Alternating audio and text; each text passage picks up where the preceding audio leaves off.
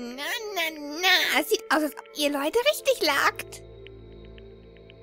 Ja, der Bösewicht, der verantwortlich für Chihiro Fujisakis Tod ist, ist Mondo Owada. Oh, damn. But why? Oh, und by the way, es war kein einstimmiges Voting. Ishimaru alleine hat falsch gelegen. Böser Ishimaru. Warum wohl? Sein Bro hat ihn verraten. Das war ziemlich knapp, Ishimaru. Das nächste Mal solltest du vorsichtiger sein. Ich glaube es einfach nicht. Ich glaube es nicht, dass mein Bro ein Mörder ist. Ja. Sorry, man. Warum entschuldigst du dich? Warum? Warum, warum, warum, warum? Sag mir warum. Warum, ey?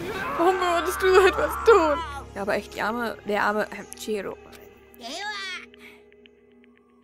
Ja, da Uwe, da Uwe da davon Gebrauch macht, ähm, sein Recht zu schweigen, erlaubt es mir stattdessen zu erklären. Der Bär ist so cruel. Ein trauriges, trauriges Geschichtchen von zwei Männern hat als Hintergrund für unseren Mord gedient. Oh, und jeder, der nicht, äh, der sich nicht danach fühlt, das alles zu lesen, kann einfach nur den O-Button drücken, um das alles zu überspringen. Das ist irgendwie cool. Aber nein, das lesen wir.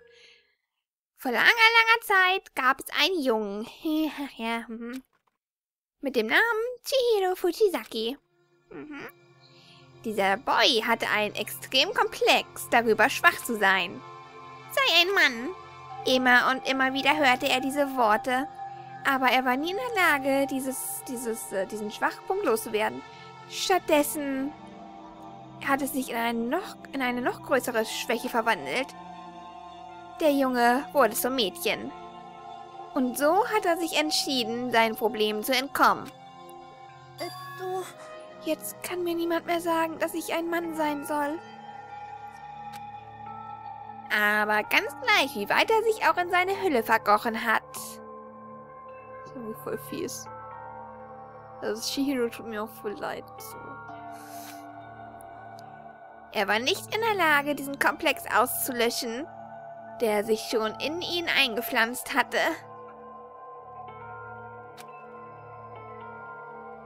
Eine Hülle ist immer nichts weiter als ein... als ein leeres Gefäß. Anstatt zu verschwinden, wurde Fujisakis Komplex noch intensiver. Ich bin solch ein Schwächling.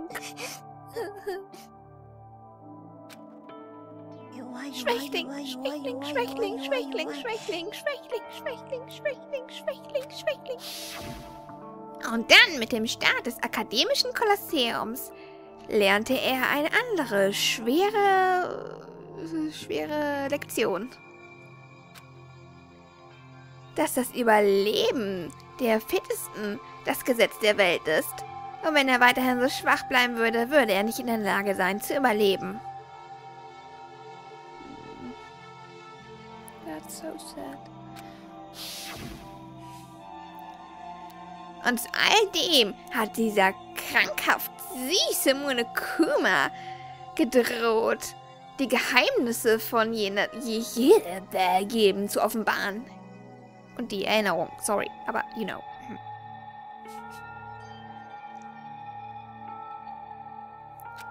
Fujisakis dunkles, tiefes Geheimnis war.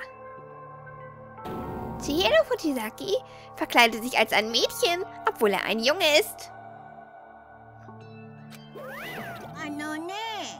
Das war das einzige Ziel, äh, Geheimnis, was absolut nicht ans Licht kommen durfte.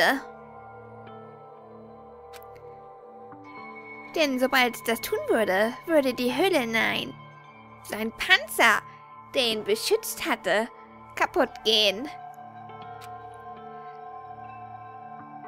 Und er müsste einen schmerzvollen Grad von Kritik und Druck statthalten. Angesichts diesem hoffnungslosen Dilemma fiel er in eine tiefe Verzweiflung.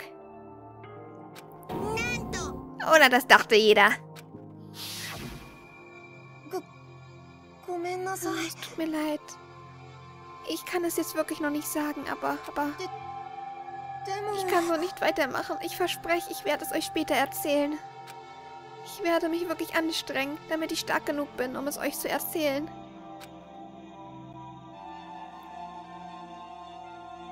Bescheuerterweise war die Drohung von seinem Geheimnis, das ans Licht kommen würde, äh, der Auslöser dafür, ihn stärker zu machen.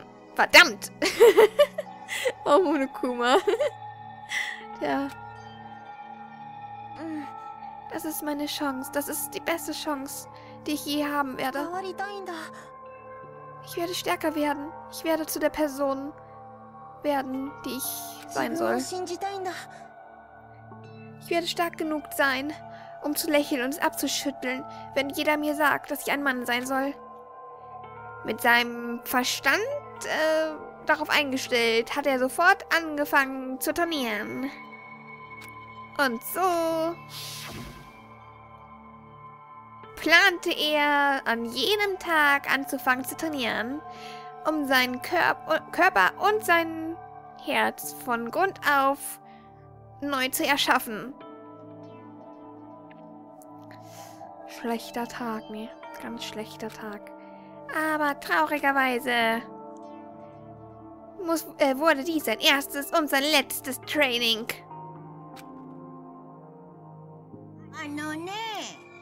Als er entschied, Cheat anzufangen zu trainieren, wollte Fujisaki auch noch jemanden fragen, ihm zu helfen.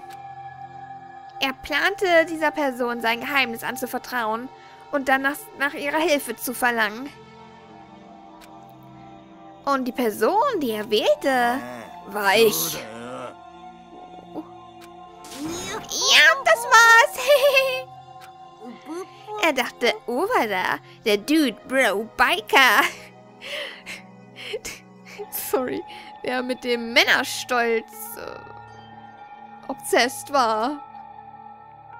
Obsessed, ähm. Naja, you know. Ich weiß es gar nicht würde versprechen, sein Geheimnis zu bewahren.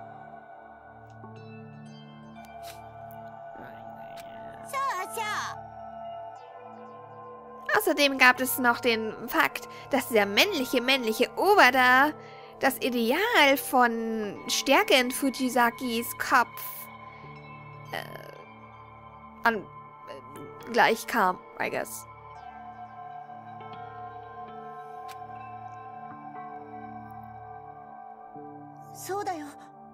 Zuerst fange ich an, Courage aufzubauen, um mit Obata zu sprechen. Und dann werde ich ihn um Hilfe bitten, damit ich stärker werde. Das war seine Bewunderung. Obata war etwas, was Fujisake nie hätte sein können. Und deswegen bewunderte er ihn. So. Dann, Obata, hast du das getan, um das Versprechen zu, äh, mit ihm zu halten, oder nicht? Das?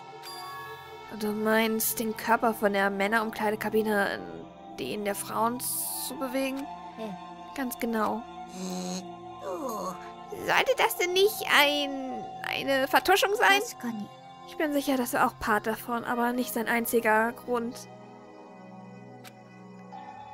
Er tat es auch, um das Versprechen mit Fuji äh, Chihiro Fujisaki zu halten. Ein Versprechen zwischen Männern. Aber was hat das Bewegen von der Leiche denn damit zu tun, sein Geheimnis zu bewahren? Wenn Chihiro Fujisaki getötet in der Männerumkleidekabine gefunden werden würde, würde doch die Diskussion anfangen, wie er in diesen Raum kam. Und sobald es passieren würde, würde die Leute anfangen zu zweifeln, dass er das war, was er sagte, er wür würde er sein. Äh, Kompliziert. mit dem Wegschaffen seiner Leiche in die Frauenumkleidekabine und mit dem Klauen des Elektro-IDs hat er uns davon weggeführt. Hat aber nicht viel gebracht, nee. Man muss hier nur einmal angrapschen. Also, hat Owada das getan, um das Versprechen zwischen ihn und Fujisaki zu halten? jeden er mit seine, seinen eigenen Händen getötet hat. Warum würdest du? Je mehr ich höre, desto weniger macht das doch Sinn. Ihr zwei hat doch ein Bund des Vertrauens äh, geshared. Oh Mann, geteilt. Also darum. Warum? Ich wollte nicht, dass es jemand herausfindet, egal wie. Ich habe mir schon gedacht, dass das der Auslöser war. Hm, Monokumas Drohungen. Die Drohung, unsere Geheimnisse und Erinnerungen ans Licht zu bringen. Nein, das kann nicht sein. Das ist unmöglich. Niemand könnte so ein Geheimnis haben, dass sie so verzweifelt sind,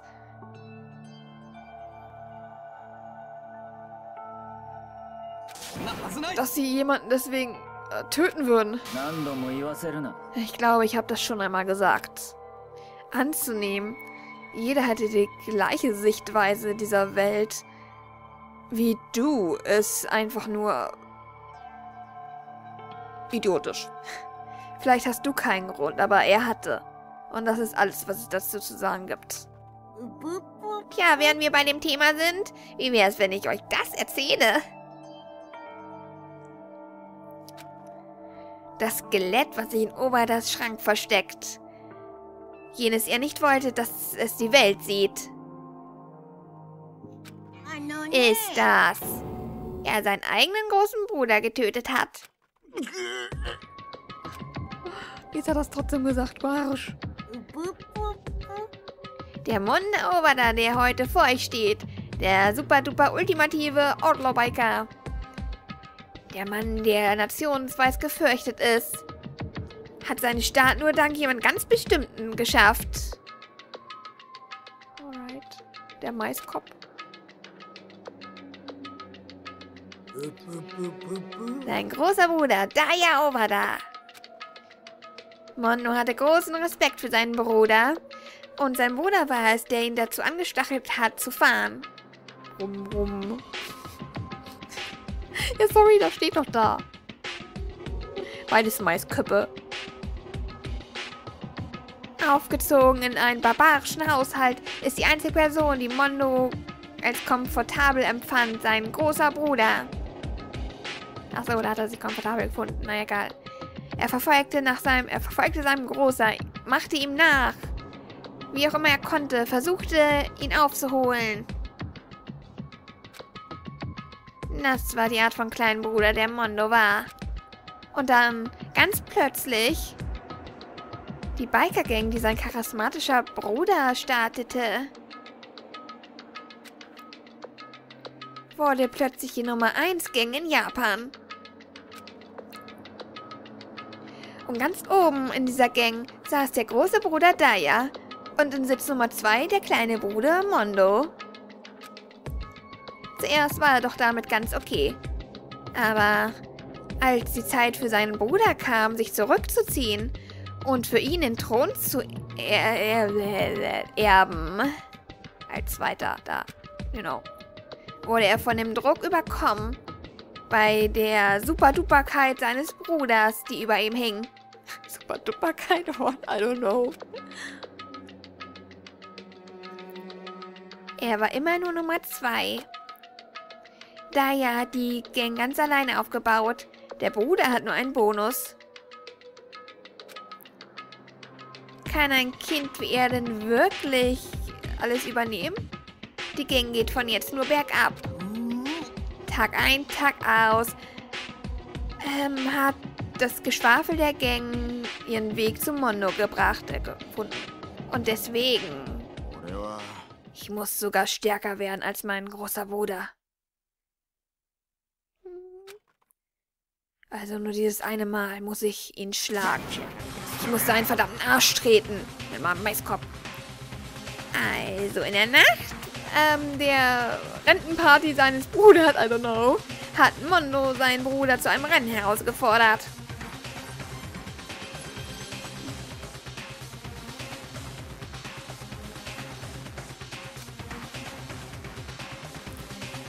Aber wie auch immer, Die Tragödie schlug während dieses Wettbewerbs zu.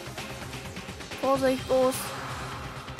Er war so davon belagert zu gewinnen, dass er plötzlich unachtsam wurde und in den Gegenverkehr fuhr. Was ein Doofkopf, ey. Sieht man ja auch nicht von 10 Meter Entfernung so, ne? Ja, sorry. Aber in dem nächsten Moment. Ui! Kabom!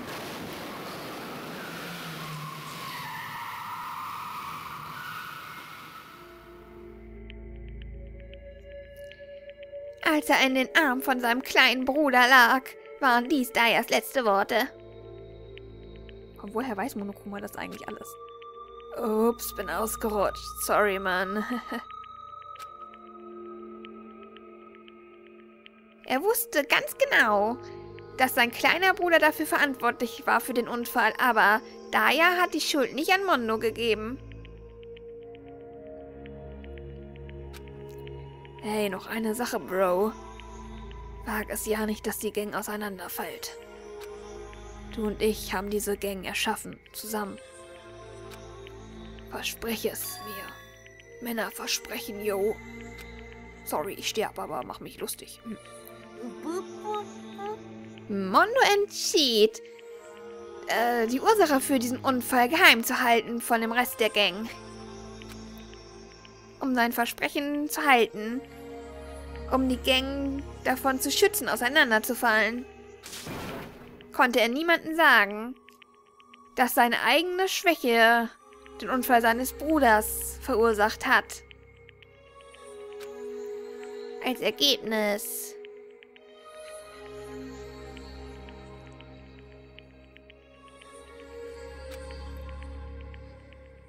Rum, vereinte sich die Gang erneut unter der Führung des jüngeren Bruders, jener den älteren Bruder besiegt hat. Das ist es, was er davon hat, so bescheuert rumzudriven, ey. Nur weil er dachte, er wird verlieren, ey, yo, ey. You know, ey, Bro, dude.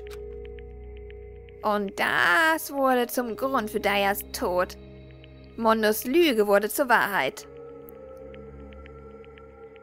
Und so hat äh, Mono den Helm der Gang angenommen mit uh die mit seiner Lüge aufkam. I guess. Ich bin stark, yo. Stark, stark, stark, stark, stark, stark, stark, stark, stark, stark, ja, ja. Jedenfalls, wir wissen es ja. Mit dem Anfang des akademischen Kolosseums musste auch er eine schwere Lektion lernen.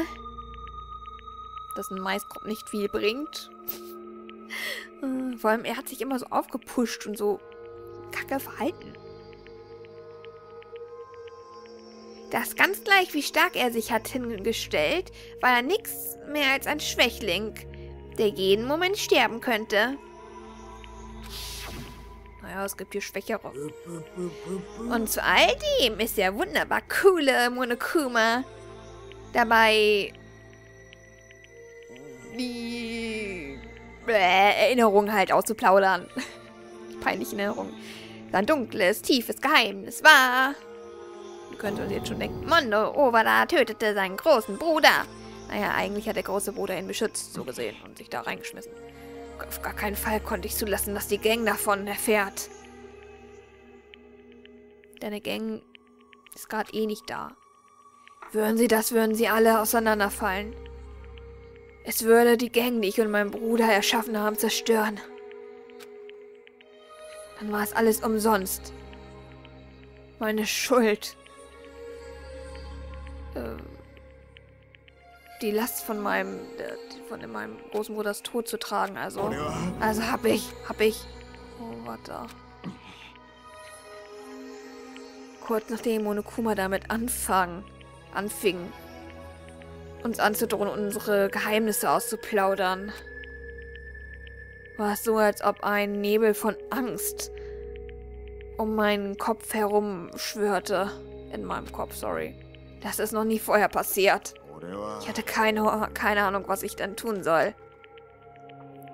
Und während ich da saß, nicht in der Lage, mich zu entscheiden, bevor ich es wusste, hat dieser Nebel von Unsicherheit.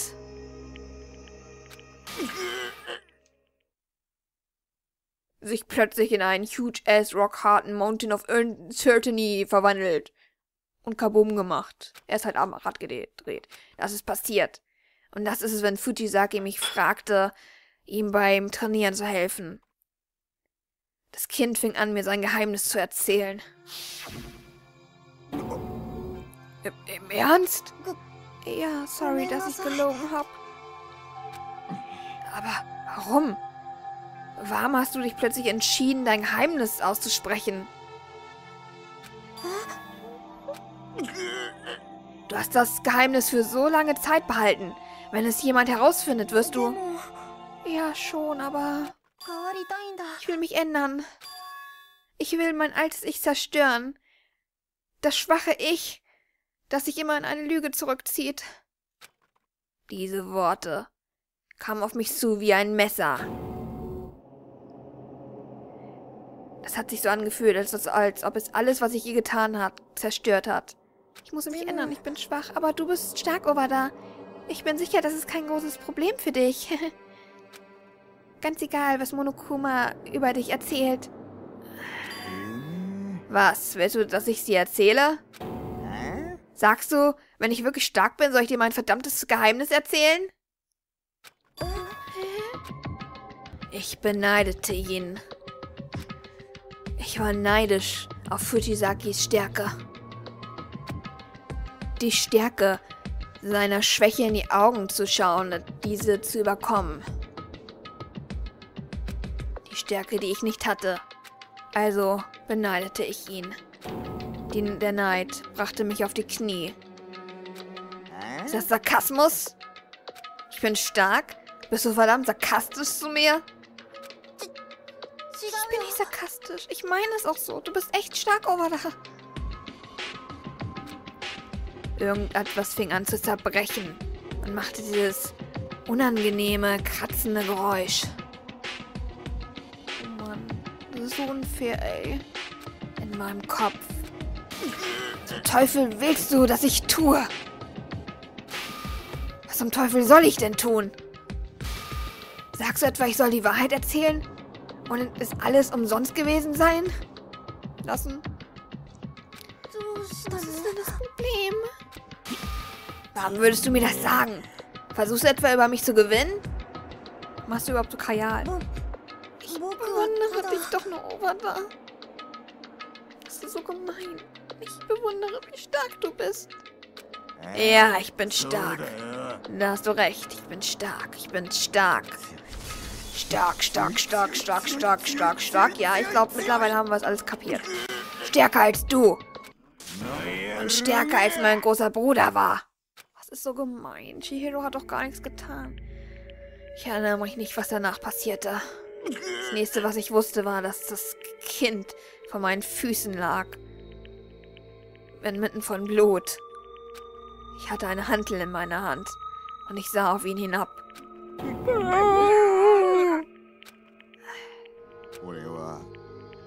Ich habe ihn getötet. Ich Tötete Shihiro Fujisaki Highleia. Willst auch was sagen? Weil ich nie in der Lage, Lage war, meine eigene Schwäche zu besiegen. Und deswegen habe ich etwas so Schreckliches auf mir einzulahmen, gelabert, getan. Oh, Owata Er hat immer so stark ausgesehen. Aber er hatte eine Schwäche als Last die er vor allen anderen versteckt hielt. Und diese Schwäche in seinem Herzen hat er angegriffen. Und er schmiss äh, ja Salz in Wunde. Nein, maliciously, Böshaftigkeit. Ja, es war alles seine Schuld. Die Lache, ey, er freut sich auch noch. Oh. Tja, würdet ihr euch mal das anschauen? Das ist es, was ihr seid. Ihr seid Kreaturen, die kein Problem damit haben, sich gegenseitig umzubringen. Wegen etwas so Bescheuerten wie die Vergangenheit. Ihr werdet eure Verbindung zu der Außenseiten, Außenwelt nicht äh, kaputt bekommen oder irgendeine Idee bekommen, was Stärke ist. Hoffnung. Mein weicher Black Whiter Badonkadonk Arsch, I guess. Verdammt seist du! Du kleiner Bastard! Sag es nochmal! Wage es! Klar, ich sage es noch so oft, wie du willst. Oder das würde ich zumindest gerne. Aber wir haben doch gar keine Zeit dafür. Es ist Zeit für die Bestrafung von jemandem. Bestrafung? Du meinst Exekution? Das sind doch die Regeln, oder? Der Bösewicht, der die Regeln verletzt, wird bestraft. Warte! Ich hab... Ey, labert mir mal rein. Ich habe eine ganz besondere Bestrafung für Monde Oberter, den ultimativen Gangbang-Typen, ausgedacht. ja. Warte! Bitte warte! Fangen wir an, den Ball ins Rein zu bringen. Es ist Punishment Time. Ich bitte dich doch zu warten. Sorry, Big Bro. Konnte unser Versprechen nicht halten. Irgendwie tut er mir ja leid, aber anders tut mir auch Chihiro leid, wisst ihr? Weil sie war so... Er, sorry, er war so schwach. Und gerade so jemanden anzugreifen, der einen auch noch gewonnen hat, das ist so fucking... Oh, jetzt bin ich gespannt. Jetzt bin ich gespannt.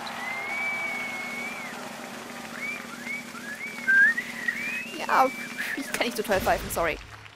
Aha, ohne Kummer.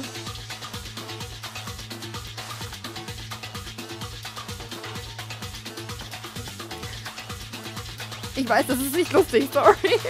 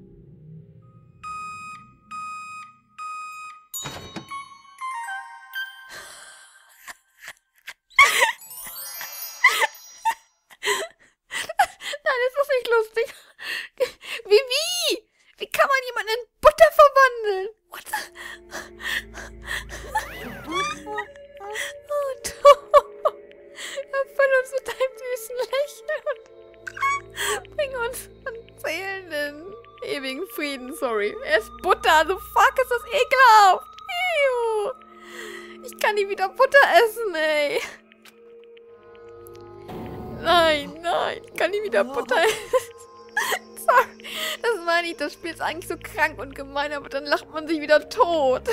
Bro.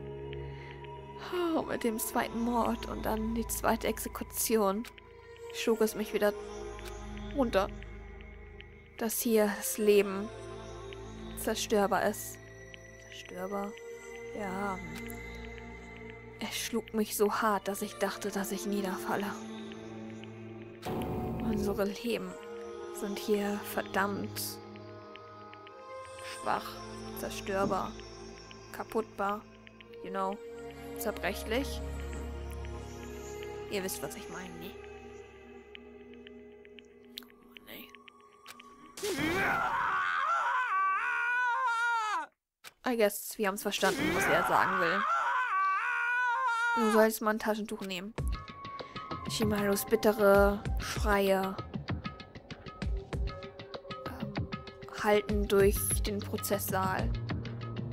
Und jeder war eine Erinnerung an die Wahrheit. Der schmerzhaften Wahrheit. Und trotzdem einer von uns. Das war nicht besonders. Nicht eine sehr zufriedenstellende Schlussfolgerung für unser Spiel. Ach, geh dein Hamburger essen. Fettarsch. Sorry. Was?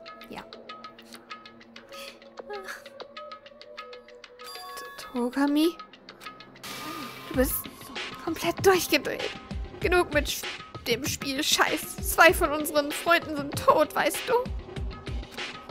Ja, natürlich. Das ist immerhin ein Spiel auf Leben und Tod. Nee. Ich werde deine Art zu denken nicht kommentieren. Das ist es nicht, was ich versuche. Ich kann es nur nicht herausfinden. Warum würdest du mit Absicht helfen, Owatas Vers Verbrechen zu verheimlichen? Ja, das ist auch noch ungeklärt gerade, das stimmt. Warum, fragst du? Ist das nicht offensichtlich? Um die Dinge interessanter zu gestalten. Arschloch. Er sprach in einer ruhigen, besonnenen Art von Stimme, die mir eine Gänsehaut durch die Wirbelsäule sendete. Why are you so mad? Du bist mir sogar schon fast sympathischer im zweiten Teil. Letzte Nacht, die Nacht vom Mord, war ich wie immer in der Bücherei. ま Ach, du ignoriertest die Ausgangssperre. Nur weil diese Ausgangssperre so sowas von egal. Und ich erinnere mich auch nicht, dem zugestimmt zu haben. Ich schätze, das ist egal. Bitte fahr fort. Es wurde spät und ich wollte zurück in mein Zimmer gehen, als ich plötzlich äh, Owada sah, wie er die Frauenumkleidekabine verließ. Nachdem er weg war, schaute ich hinein und da fand ich eine Leiche. Was? Du sagst alles, Dude? Wow, du hast lang nichts gesagt. Ach, Fukawa, wo ist die denn hin? Gott, der war so ein Idiot. Er hatte nicht einmal eine Idee, dass ich ihn sah. Also wusstest du von Anfang an, wer der Täter war, Master Byakuya Tsugami? そう Aber es wäre doch langweilig gewesen, wenn es nichts weiter bei dem Fall gewesen wäre. Ein Spiel, wo du die Antwort schon von vornherein weißt, ist nichts als Zeitverschwendung. Du bist so ein Arsch. Also gab ich ihm eine Hand, um die Dinge ein bisschen aufzuwürzen. Die Dinge aufzuwürzen? Deswegen hast du das getan? Da du erst vor kurzem herausgefunden hast, dass Fukawa Genocide Shu war, hast du dir das zu Nutzen gemacht, um uns von der Spur abzubringen. Wo ist die überhaupt? Aber Dude, wenn wir nicht in der Lage gewesen wären, herauszufinden, wer es wirklich war, wäre es jetzt auch mit uns tot. Natürlich hätte ich was gesagt, bevor es so weit gekommen wäre. Ich bin echt doof. Außer Togami glänzt in meine Richtung. Hi! Sein scharfer Blick äh, pierste mich in tausend Stücke. Dank Mr. Brilliant da drüben, dass es nicht dazu gekommen ist. Du hast dich ziemlich gut angestellt. Hm, jetzt weiß ich ganz genau, auf wen ich achten muss, wenn ich in der Reihe bin, der Bösewicht zu spielen. Excuse me? Was? So. Verstehe. Das hast du also getan. Bist du denn jetzt zufrieden? Ja. Ich habe genug von dir gehört. Ich auch. Als nächstes würde ich dich gerne etwas fragen, Monokuma.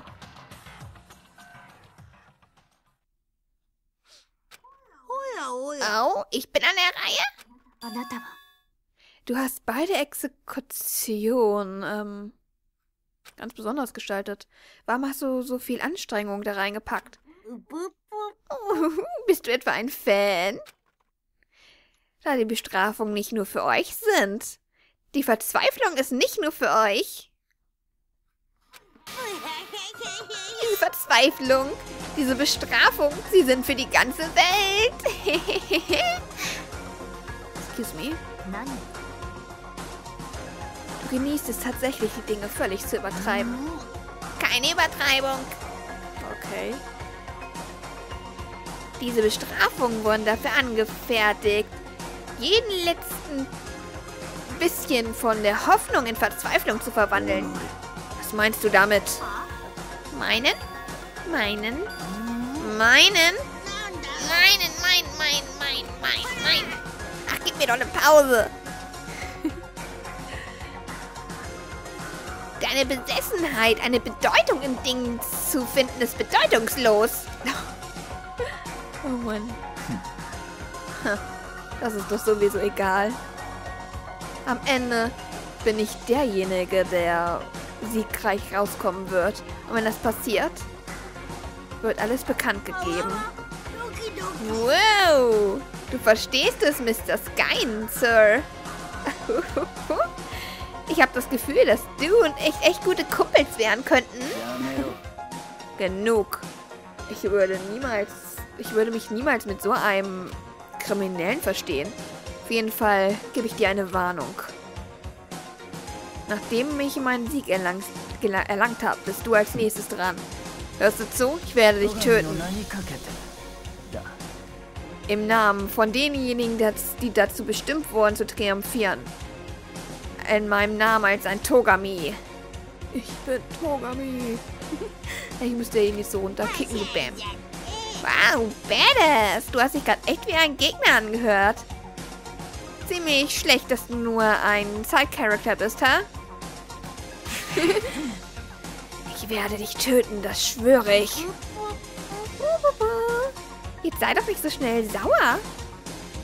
Willst du mal mein Spiel über Calcium hören, was? Er hat seinen Fun, ehrlich. Das Echo von Monokumas hohen Gegacker signalisierte den Fall des Vorhangs für diesen Prozess. Aber hier endete es noch nicht.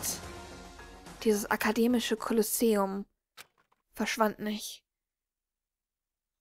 Es weigerte sich, die Türen zu schließen.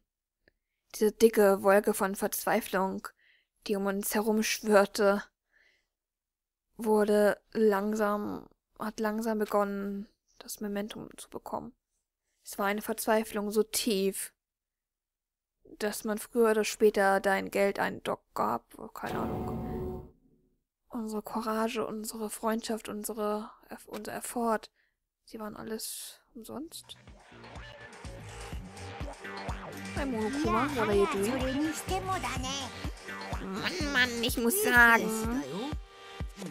Die Dinge bewegen sich echt ganz nett voran. Das ist echt eine nette Geschwindigkeit. Es sieht aus, dass sie auftreten, bevor die Dinge sich beruhigten, äh, eine größere Spur als angenommen hinterlassen hat. Wer ist denn der creepy Typi da? Und sobald die Dinge ins Rollen kommen, ist es wie ein Rollercoaster. Es gibt keinen Halt.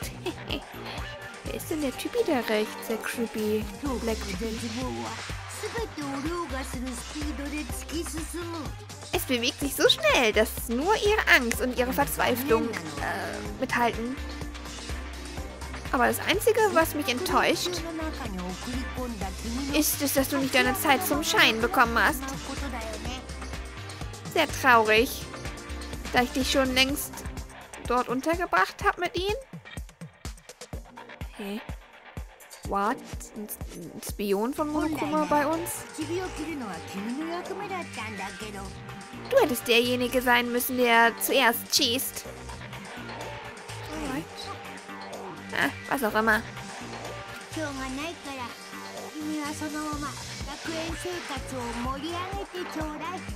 Was kannst du tun? Mach einfach weiter mit dem, was du tust. Und mach sicher, dass die Dinge interessant bleiben. Das ist es, was jeder möchte. das komisch ist immer von der ganzen Welt und jeder spricht. Ich habe eine Frage. Alles außer meine Measures. Und ich höre zu. Meine Measures, mein Körpermaß. Wer ist das? Der erste 16. Student.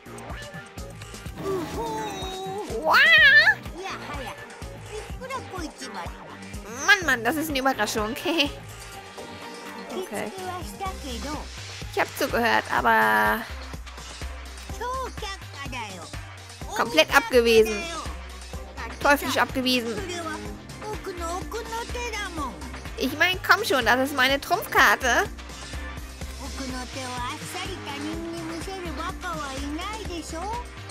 Wir sind vielleicht zusammen in dem allen. Aber ich bin ja nicht so blöd, dass ich dir meine Trumpfkarte zeigen würde, als wäre es nichts. Das wird interessant.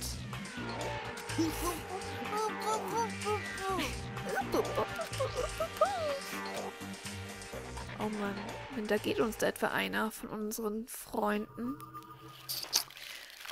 Das wäre alles andere als schön, vor allem wo wir eh schon so in der Verzweiflung versinken, weil immer mehr sterben. Zehn überleben noch.